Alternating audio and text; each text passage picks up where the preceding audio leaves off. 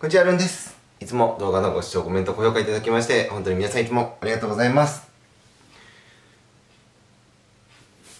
えー、ちょっと先に言っておくんですけど、この動画の内容は、ちょっと結構ね、暗い話が、うん、多いかもしれないので、ちょっとそういったのが苦手だなっていう方は、まあ、別の動画を見ていただけると幸いです。であのー動画のタイトルとね、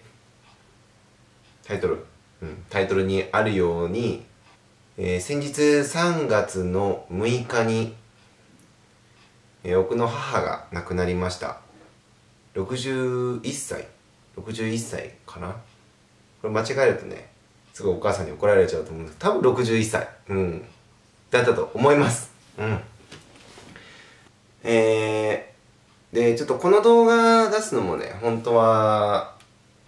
すごい迷ったんですよ。うん。あのー本当に暗い内容だと思うんですがただ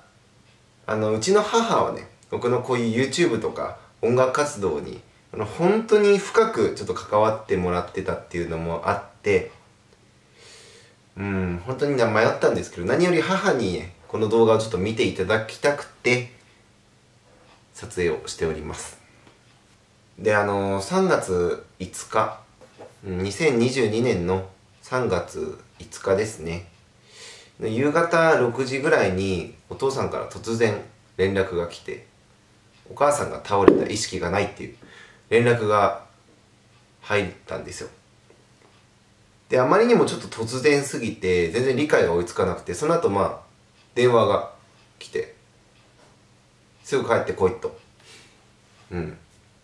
あのー、僕の実家茨城県にあって僕はねこっち東京の方に上京してきてるんですけどまあ大体23時間ぐらいで帰りはするんですがあその前にうちの家族構成あの僕のお母さんお父さんがいてお兄ちゃんとで弟の奥がいます。でお父さんはあのずっと僕がちっちゃい頃から単身赴任栃木にしててでまああの週末から大体土日に帰ってくるっていうのが多いんですがでお兄ちゃんもまあ1個上なんですけどずっとねあの去年の何月だっけ多分9月？10月？ぐらいまではずっと実家にいてお母さんと一緒に住んでたんですけどその去年のねその9月？10月に会社の転勤で横浜？横須賀かな？の方に転勤になってで僕はもう18でちょっと家を出て上京しちゃってるのでその9月10月以降お母さんがずっと家で一人暮らしをねしてたんですよ。まあ週末にお父さんが帰ってくるっていう感じなんですけど。で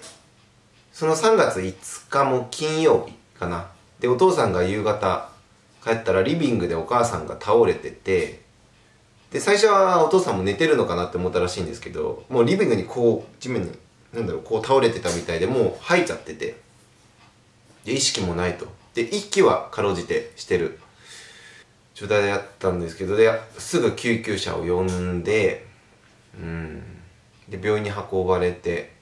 で電話もらって僕もすぐ向かってお兄ちゃんもすぐ向かって僕が大体9時かな？夜の9時ぐらいに着いて10時に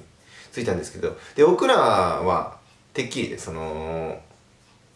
なんだ普通に倒れちゃったっていうのも変ですけど、うん、なんか疲れが溜まってというかそういうのに倒れちゃってすぐ元気になるもんだと思ってたんですけど着いたらそう。あの僕が着いたらお父さんとあのおばあちゃん、うん、あのお母さんのお母さんね。お母さんのお母さんとお母さんのお姉さんがいてで聞いたらもう意識は戻らないということであとはどれだけ楽にっていう話をきましてもう全く理解が本当に追いつかないというか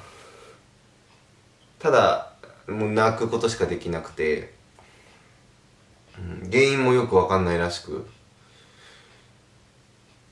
そうそう。まあ先生曰くその脳内出血で今回もう血管がパーンってなって亡くなっちゃったらしいんですが多分高血圧が原因かもしれないということで。お母さん本当にあの病院が嫌いで健康診断もねずっと受けてなくて本当に。もう数十年受けてなかったらしくてで結構頑固だから。うん。全然行かなくて。それであのー、翌朝の3月6日の朝5時頃息を引き取って天国へ旅立ちました。うん。で正直ここまで今日がうん。3月の13なんですけど、まあ、ここまでねすごいねバタバタで。うん。お母さん友達がちょっとねすごい多いっていうのと、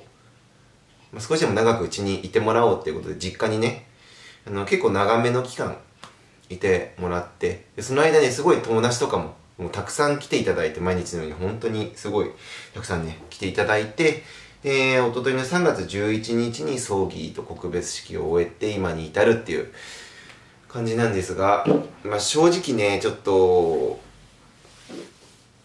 最初こそね本当にすごい泣いてたんですけどなんだろう。全くね今実感がなくてそのお母さんが亡くなったっていう。今でも帰ったらいるような気がしてるしそう現実味がね全くないからそう。何なんだろうこれっていう感じではあります。ただもういつまでもねダラダラしてても絶対にあのお母さんに怒られてしまうので頑張らないといけないということなんですけどもなんかこういう暗い感じだと母がすごい多分めちゃくちゃ悲しむような気がするのでちょっと BGM つけます。そのうちのお母さんが YouTube とか音楽にすごい深く関わってるっていうのは何何かっていうと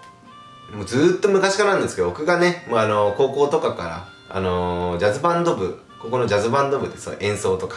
すごいやってたりしてたんですけどそういうのもねすごいあの毎回じゃないですけどすごいたくさん来てくれたりとかなんだろうなまあとにかく応援してくれてたんですよ。であの高校出たら僕は東京の専門学校に行って、えー、歌がやりたいということでギターと歌のあと曲作ったりの勉強をしたんですけどお母さんがね昔演歌歌手やっててもう、ね、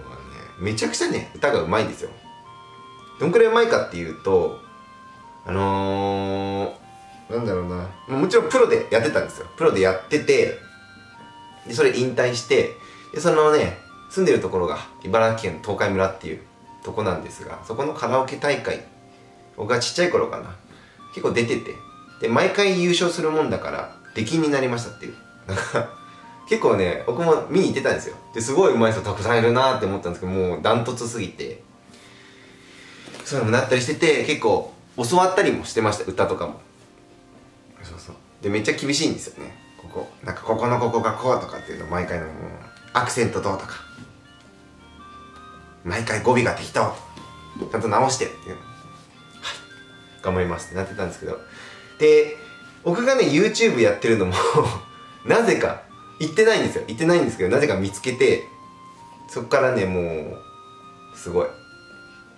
うーんなんか物理的に一番のファンなんじゃないかってぐらい動画とか見てくれてて。そのバンドのね MV とかもめちゃくちゃ見てくれてでその動画とかも 結構出すたびになんかね長文の LINE が届くんですよね。で結構ねあのめちゃくちゃ褒めちぎってくれてプラスアドバイス超くれるみたいな。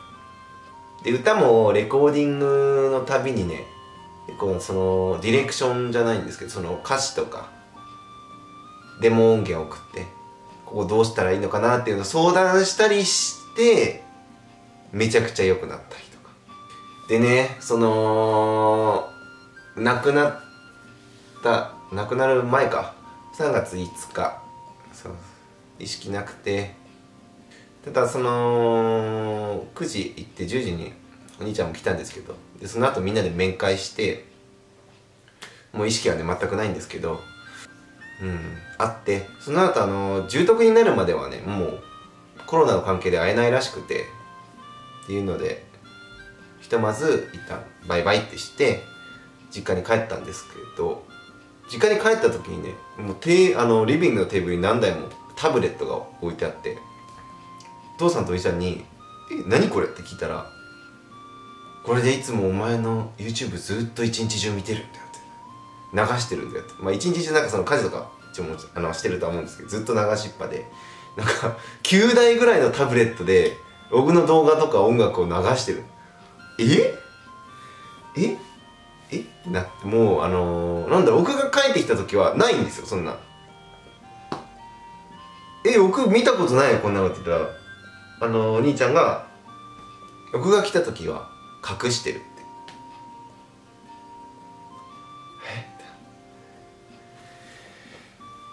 え？え？いやそんなことしなくていいからって思ってなんかもう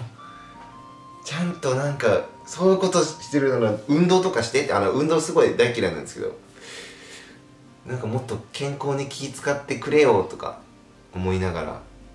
いやでもまあありがたいありがたいけど僕が見たらさすがに。うんうんうん。って言ってたと思うんで。あれなんですけどなんかすごいなんか物理的にすごいんですよね。しかもめちゃくちゃ元気。もう本当にあのねもうなんだろうもうちっちゃい頃からめちゃくちゃ喋る。本当にめちゃくちゃ喋るんですよ。であのご飯食べててもあのずっと喋るから一人だけご飯が全然食べ終わらないってマシンガントークの本当にゴンゲみたいな人なんですよ。でお父さんもね僕もね割とね喋る方ではあるんですよ。お兄さんは普通ぐらいなんですけどあのお母さんがずっと喋ってるからもうお母さんだけずっと喋ってる状態なんですよ。喋る人はいるのにもうっていう感じで。もう喋るのが好きな人でしたね。おばあちゃんも喋るしそのお母さんのお姉ちゃんもすごい喋る。もう遺伝ですねこれは。その中でもお母さんがもう最強でございました。という感じで本当に深く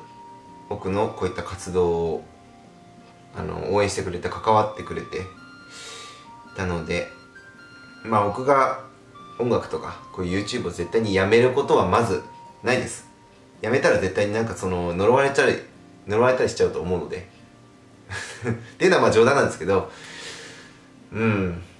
なんだろうな。僕がやりたくてやってることではあるんですけどもなんだろうそうやって応援してくれてる以上うん。まず絶対にやめません。のでお母さんはご安心ください。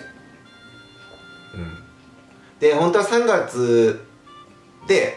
あの2月下旬からねこのルンの部屋もちょっとお休みしててどうやったらちょっともっとねこうたくさんの人に見てもらえるんだろうっていうのを考えてそういうストックとかも取ろうと思ってたんですけどそのいろいろ考えてる矢先にこんなことが起こってしまって。もう勘弁してくれよって思いながらもっと元気にね生きててくれよもっとなんかいつも通りなんかその口うるさくじゃないけど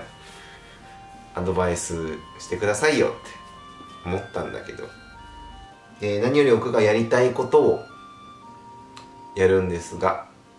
たくさんの方に見ていただけるよう本当に考えてやります。あそうだあとなんかねお母さんコメントとかもめっちゃ見ててあのー、僕もね結構あの見てくだいつも見てくださる方本当に覚えてる。自信はあるんですよ。それ以上に母が「ま野村さんいつもコメントしてくれね」とか「ま野村さんこう言ってるよこういうのしたらいいんじゃない?」とかっていうのも言ってくれてすごい見てるんですよ。本当に。だからこれも多分すごい見られてるかなと思うんですが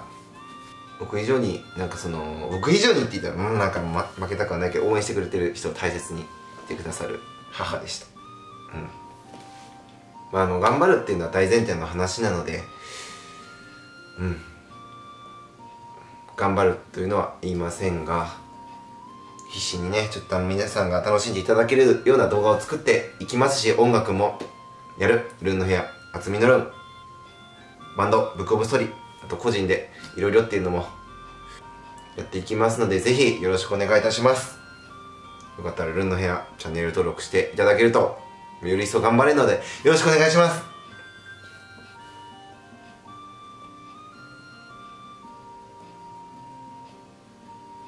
ルンでした。